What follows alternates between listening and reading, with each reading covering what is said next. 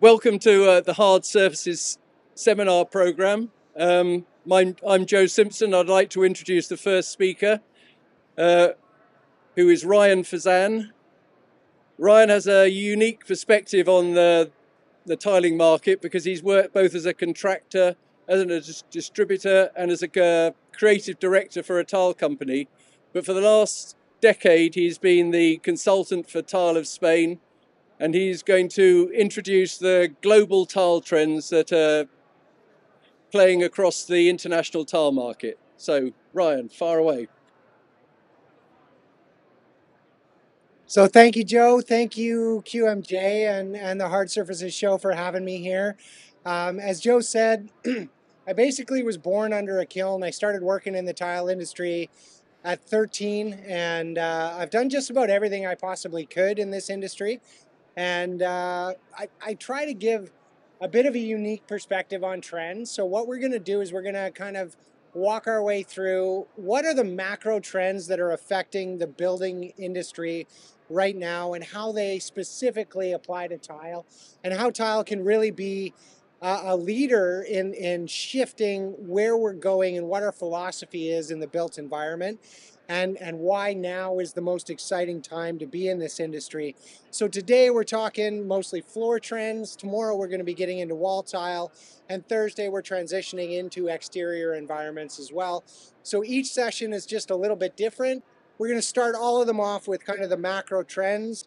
And I'm going to just shift them a little bit to speak to each of the major themes. And as we see in, in this wonderful stand by Material District Expo, uh, right behind us. Right now, top of mind for just about everyone in just about every industry is um, is how sustainability factors into the decisions we're making, and and that has never been more true in the built environment as it is today. And and I love this quote by the late John Paul II that unless we take a look at our lifestyle, we're not going to solve this ecological problem that we have going on today what this industry is really focusing on right now is changing the connotation of what it means to place our footprint on the world. Up until today, when mankind stepped into an environment, nine times out of ten, we left it worse off than, than when it, we'd never been there. And we're really working on changing that footprint from something that is a negative connotation to actually becoming a net positive. And I think ceramics specifically have a way to lead that charge um, and, and change the connotation of footprint to a net positive. What I'm seeing when I start doing trend research, I look at literally everything that isn't architecture and design first. And you start to see these macro trends because trends develop as what we're exposed to each and every day of our lives in every field, and they start to cross pollinate. And what I started seeing in every industry, from tourism to agriculture to travel to uh, to things like entertainment, is is we're starting to see a word being tacked on at, at, at, as a forethought, and that's regenerative. We're looking at ways to, to change our perspective into a net positive, and that makes a big difference for us in the ceramic industry because what everyone's looking for today is transparency. The through line is business models are starting to shift from a profit first mentality to more what our our medical professionals look at, which is like the Hippocratic oath. First, we do no harm. And, and that's kind of where our, our business models are shifting to. When we start to see a lot of small businesses, that's what's being the through line. That's their marketing message. That's actually built into the DNA of smaller companies. And it's, it's transitioning to larger organizations as that becomes more and more of a macro trend because trust really is becoming the most valuable commodity, even more valuable than time in our time starved uh, lifestyles today. Because if there is a face of the 2020s, it's this face. It's, oh yeah, prove it. That's why transparency is becoming so important. And that's why I say ceramics as an industry have the capability to really lead the charge uh, in shifting our mentality in the, in the built environment. North America has a site called Why Tile. That's a great educational site uh, developed by the TCNA that tells a lot of different stories uh, throughout the uh, industry because ceramics really have that message of simple transparency because it's responsibility through embodiment. And that transparency gets so easy to, to transmit to people because of the huge history that we have in this industry. Almost everything we know about past civilizations is only because of the ceramic material that we've been able to recover. Carbon dating is only able to be done on ceramic material. So when we look at 4,000 years of history from ancient Egypt to ancient ancient uh, Assyria and the, the Ishtar Gate and the faience glazes in, in ancient pharaoh tombs, what we have today in terms of capability, and this is why it's so exciting to be in this industry, is we can actually re reproduce those beautiful tones of that ancient tile in, in one of the most realistic ways that not only you can see, but you can touch and feel those uh, ancient patinas because tile really is one of the best versions of biomimicry that we have today. Is everyone familiar with the term biomimicry? So biomimicry is looking at the way nature does something and reproducing that in uh, using modern technology and science to create the same effect. Basically, ceramic tile is humankind recreating what happens in the Earth's crust when the Earth is making natural stone like we have around us here in the hall today. And in 4,000 years of history, we've not found a better recipe to create ceramic material other than these four simple ingredients. Simple, plasticized, moldable clays mixed with one of the most plentiful minerals on the planet, feldspar, and uh, mineral oxides and silicates, one of the other most plentiful minerals on the planet, exposing all of those to pressure and heat, which is what happens in the Earth's crust, and fusing them together to create a man-made stone, which is ceramic material. So what it takes today to really create a connection with today's consumer is something uh, that is, is a term, there's a podcast and a book and a TED Talk by a great speaker named Jocko Willink, and his whole premise is extreme ownership. He's a, a Navy SEAL commander and trainer, and extreme ownership is what he bases his entire philosophy on, and that's really how to make a connection with clients today is by telling a truthful story, standing up behind that truthful story, and having that extreme ownership. And that's transparency without qualification. And in terms of industries and manufacturing, ceramic tile has the capability of doing that in such a refreshing way because ceramics are uniquely suited to lead by example in the building industry because we're inert during, throughout, and at the end of the lifespan. It's 100% natural materials input and output after their useful life and inherently promote the, the health of occupants. Now, here in, in the UK and Europe, there's there's a lot of focus on transitioning industry to carbon neutral and, and a much more positive uh, way of manufacturing. In Spain, they've got the roadmap to 2050, and they started on benchmarks in the industry in 1990, which already reduced the emissions and the carbon uh, footprint of the industry by 50% at that point. Now, they're talking about a 55% reduction from those benchmarks in 1990 by the year 2050. And I'll show you a couple of things that they're doing that, that are allowing them to get there. But first I want to talk a little bit about the capabilities that are shifting and allowing us to uh, to interpret some of the macro trends today. And it really is an exciting time to be in trends in tile because of what is happening technologically and allowing us to do. One of the first things that's really important to understand is trends. When we talk about color trends and things like that, they're they're actually very quick. We look at Pantone Color Institute and the paint industries, and they come out with a color of the year every single year. In tile, our, our product is used for 40, 50, sometimes 100 years.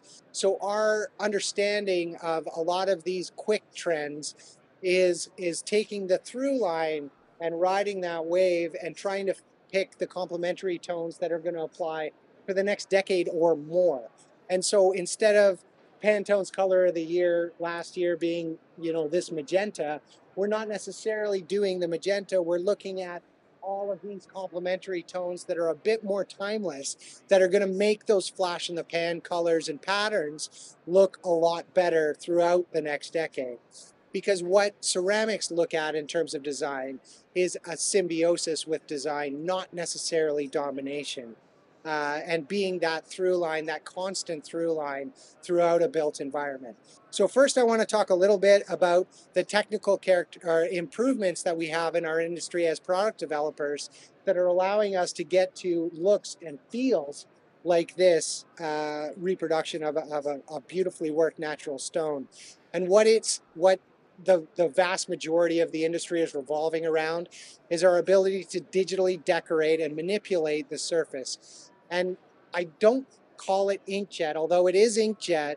Inkjet kind of brings to mind desktop publishing and four color process printing, which today in ceramics, I want to, I want everyone to understand that we're so far beyond just the color spectrum. When uh, inkjet printing or digital decoration of ceramics came out in the year 2000 at Cevisama, we did have four color bars. It was a little bit different than CMYK that we use in desktop publishing. We had slightly different pigments. They were all mineral oxides, just like we have in our glazes, but it was four colors. About a decade later, we started to refine those colors. We started to realize that we needed a wider array, and we added white inks and gray inks and some other colors to our, let's call it CMYK background, and it gave us a broader range of color to work with. Five years later than that, we could add one finish. So we were printing glossy and matte inks on top of the colors, and we could slightly manipulate the surface. Fast forward to today, where now we have up to 12 bars that we're working with, and almost almost six of those bars are different effects. We can add volume today. We can remove volume from the surface. We can print in different different inks and even do non-metal metallics that are useful on floors. And that's what we'll start seeing as we get through. So this is a really good illustration of what it takes as a designer to work in different color spaces. When we're doing desktop publishing, that's our smallest array here, CMYK. So our smallest version of the vis visual spectrum is CMYK. As we get into sRGB, that gets that's the spectrum that we have in our high definition screens. Then we get into Adobe RGB, and that gives us our broadest spectrum. But what we have totally is the whole three dimensional curve there. That's actually three dimensional color space.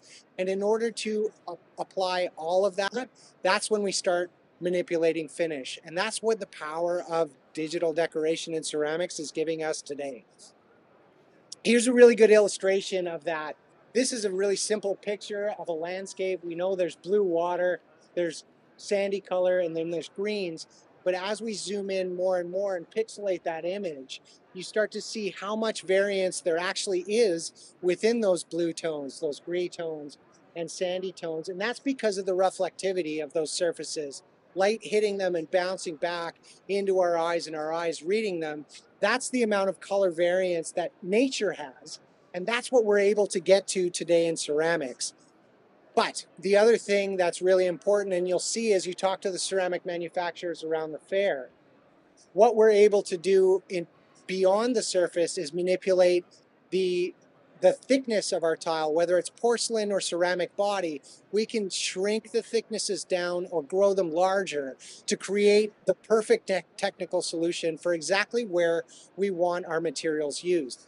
There's solutions around this, this show that go from 2 cm thick down to 4 millimeters thick because they're able uh, to be used in multiple different applications.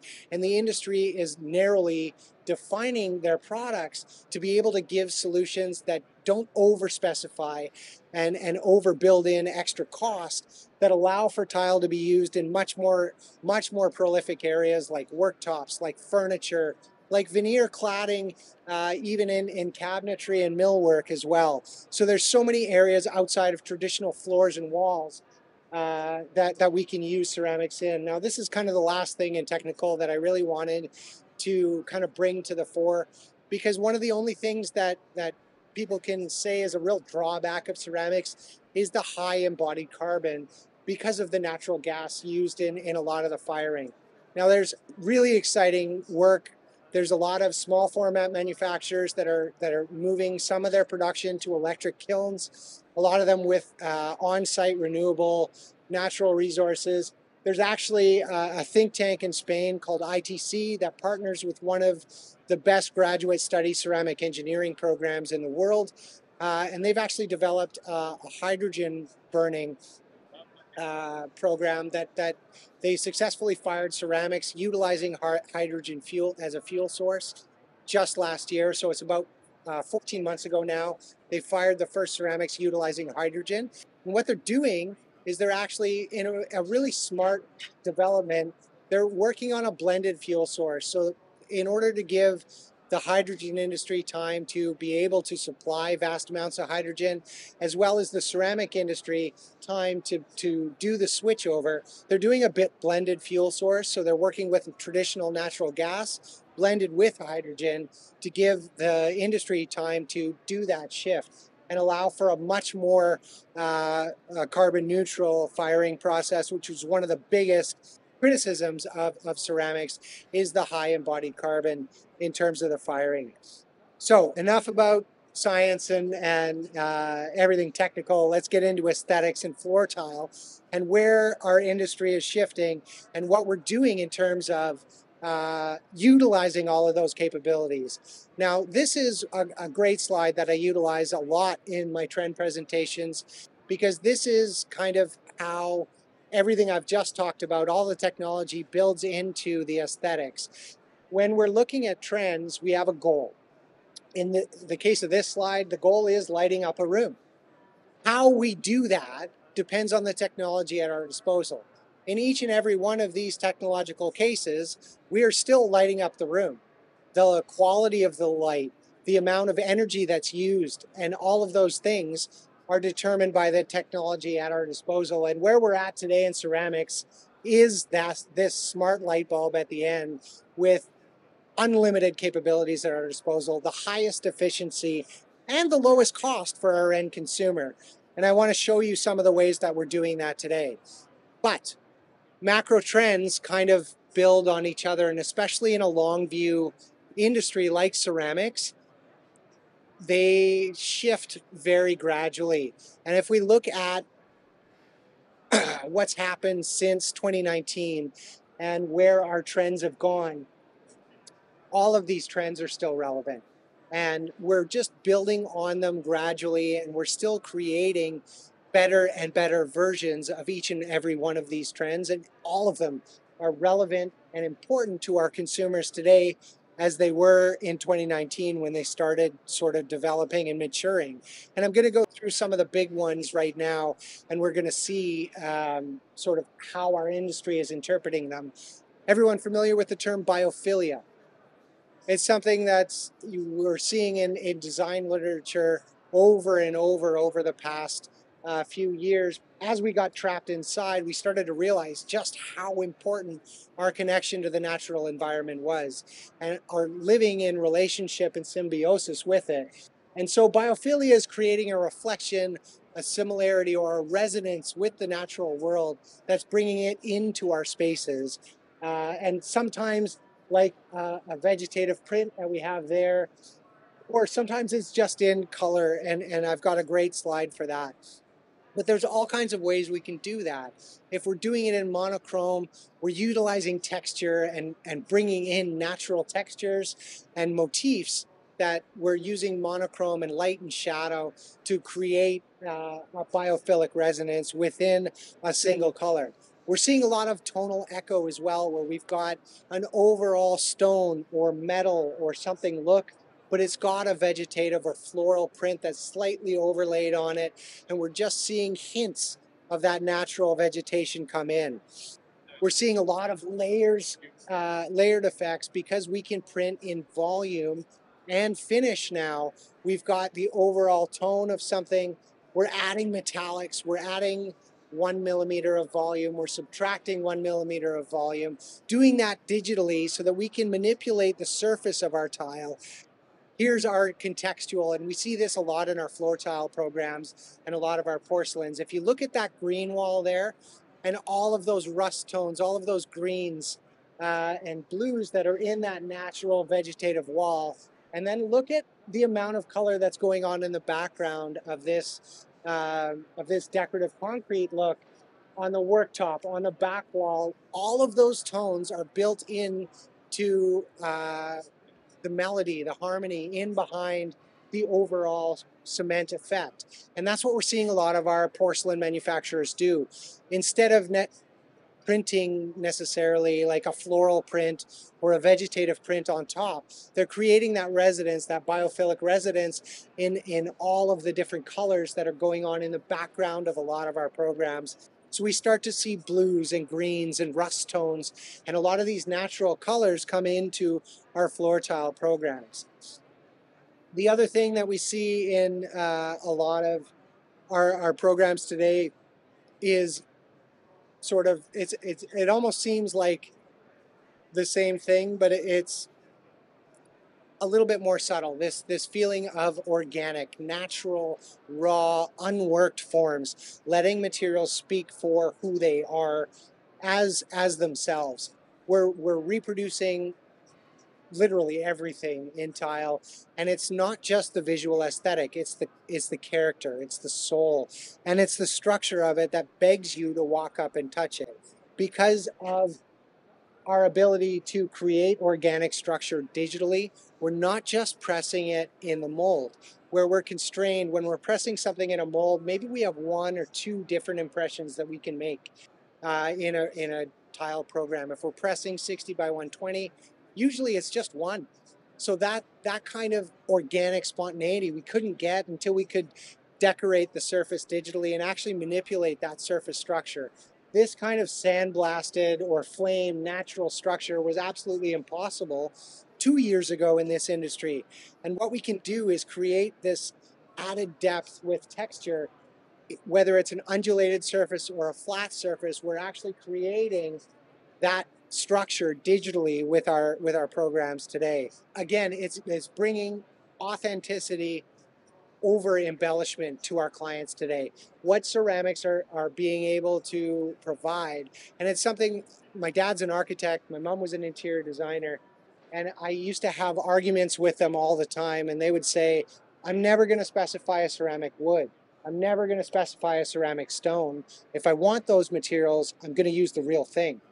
But today, there's no difference in terms of look, touch, feel, and spontaneity between a ceramic rendition and the real thing. All that that's different is is the performance uh, and the amount of environmental impact in terms of um, harvesting raw material. Uh, the authenticity is there, and we're really focused on that in this industry over embellishment.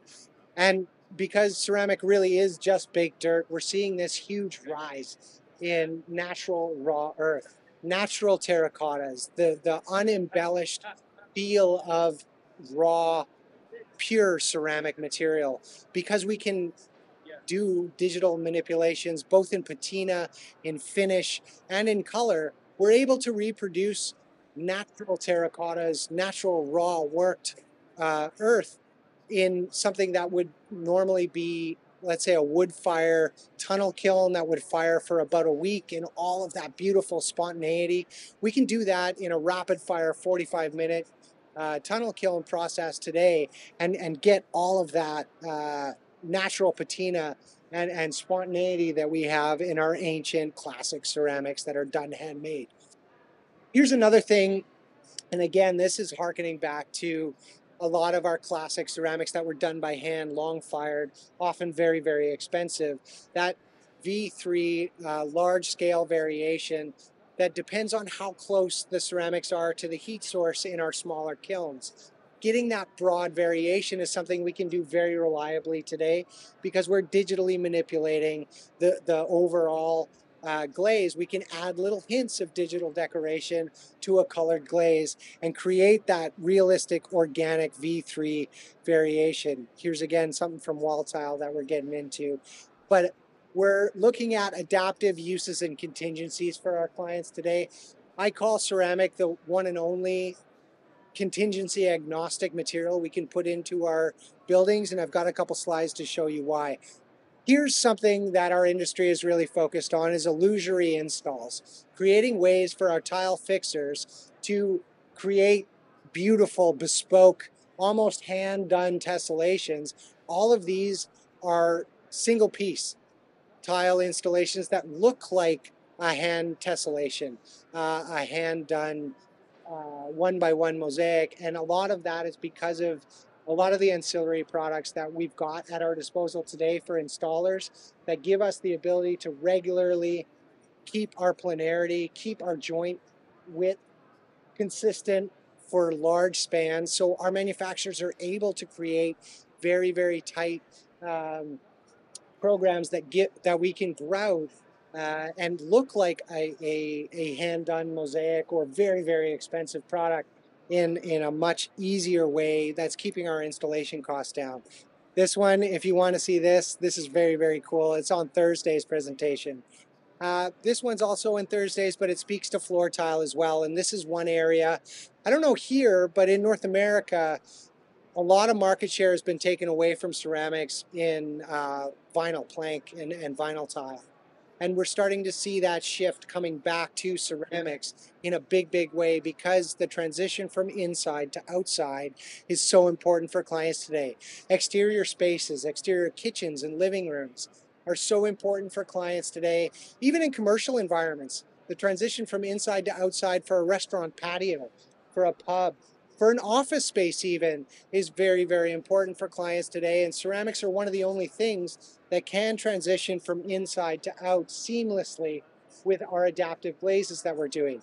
Everyone familiar with uh, in-out glazes or all-over glazes? There's all kinds of different ways to that that manufacturers kind of create their own marketing term for it. But basically, it's a smooth glaze that's very easy to clean that actually if you look at it under a microscope, it's got very jagged texture, but it feels smooth to the touch. It's easy on bare feet. It's very easy to clean, but the way that jagged texture interacts with water, it's actually more slip resistant when it's wet. So it's a simple glaze that can go inside, transition seamlessly in a 2cm to outside. Uh, that, that makes a very easy installation uh, and that transition where you've got these wide banks of windows and transitioning from inside to outside floor is very, very simple. Here's another way that we're manipulating uh, and augmenting reality digitally. All of these, the metallic, this is a sinking ink, uh, in Spanish it's camaleonte, that, that actually drops down into the body of the tile and creates the natural structure uh, and variation of that natural stone. The previous one, if I go back there, um, that's the vein structure and a metallic vein in a very, very rare marble where we're printing a metallic ink. Actually, we're just printing a gray ink with a, with a glossy vein on top of it. So this is fine on floors. Unlike most metallics, this one's actually fine on floors because it looks metallic, but it's not. Uh, and that's the level of sophistication that we can get to in our digital glazes today. Here's a slide that, that really epitomizes contingency agnosticism. This, everything that you see here from the pavers outside to the floor, to that huge monolith in Ceppo di Gré, to uh, the Bernini marble on that countertop, all of that is uh, uh, a lamina style porcelain slab. So this is a client where they've they want a delicate white Bernini marble. They they also want an 11 foot island where you could never get that material in that format. Uh, we're able to do it in porcelain. You can spill a glass of wine on that. You can flambe right on that countertop. You can take a screaming hot cast iron pan and drop it on the countertop. Same thing in the Ceppo di Gré. The Ceppo di Gré in the outside would never survive in that patio as a paver environment. uh, because it has way too much porosity. So being able to recreate and faithfully reproduce all the characteristics from look to touch and feel with all the high performance of a porcelain floor tile is why we recreate other materials in porcelain. So our last one and one of my favorites in this industry is looking back with our rose-colored glasses to some of the most creative periods in design and all of them have had expressions in ceramics. So we're looking back at all of the beauty in our uh, in our ceramics to create new versions that are time you know timeless representations of different periods of design. We started to see terrazzo in a lot of our commercial environments and we're starting to see a lot of residential solutions in terrazzo that are so beautiful and bringing sort of this commercial new life to a, a usually commercially uh, viable program. Now this is a, a, beautiful designer that named Francisco Segarra that does uh, a partnership with with a factory in Spain and creates ceramic material. This is one of his versions of a terrazzo, and it kind of speaks to the the Middle Ages modern or castle core kind of trend that's coming in and a lot of the handmade furniture that we're seeing, we're seeing a lot of these handmade materials uh, come into our, our focus as well. We're taking a broad range in terms of what's the inspiration for our material. In this case, this is a very famous watercolor painter uh, that's utilizing, they're utilizing all of the tones and the expression from this watercolor painter and all of the colors and then encapsulating them in glaze and then sort of rolling them into a mid-century modern or Art Deco form. What I love about ceramic engineering today is that we're taking a very intelligent approach to leveraging this broad range of capabilities that we have. We're not throwing the kitchen sink at every program. In this case, we're just creating a simple stonalized texture and look, it, it looks like it's just been misted with water but it's freeze framed in that way. We've got that structure of water. We've got the reflectivity of water on that surface. We're not going crazy and throwing everything that we can do at our programs. We're just creating little ways to uh, to look at the past, take uh, take inspiration from the past, and then shape the future in new ways with all of this capability because ceramics kind of give the ability to create whatever our client's idea, perfect idea of forever is, taking one space and giving limitless options in multiple different um, different ways of expression, different color tones, and different materials that we can use to create our our client's idea of forever because when we're working with a material that is 100% natural, that will last beyond generations for our clients. Design today is really kind of equaling benevolence for our clients. The, the more benevolent we can be to our fellow humans and to the world we share it with, uh, the better off we are. And that's why I say ceramics kind of give us the ability to springboard into a new paradigm of design. So I hope I've given you guys some food for thought and thank you very much.